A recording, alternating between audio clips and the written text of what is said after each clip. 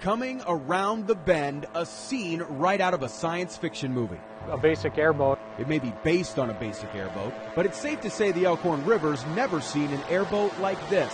By being in a concealed cab like this, um, you'll be out of the elements. Making the newest addition to water rescue a very versatile tool. Owned by the Tri County Mutual Aid Area, Waterloo Fire will base and operate it.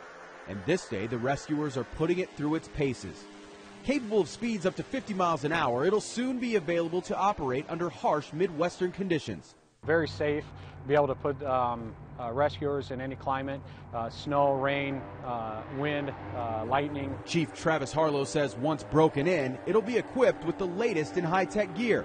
Sonar um, in it for searching for a body underwater. It'll also have um, a night vision. Finding and getting to a victim is half the battle. But this boat, with its enclosed cab and high speed, will be able to get them out even faster. Where this boat, um, when you're making sharp turns and maneuvers, it will not allow water to take on. On the Elkhorn River, Adrian Whitsett, KETV, Newswatch 7.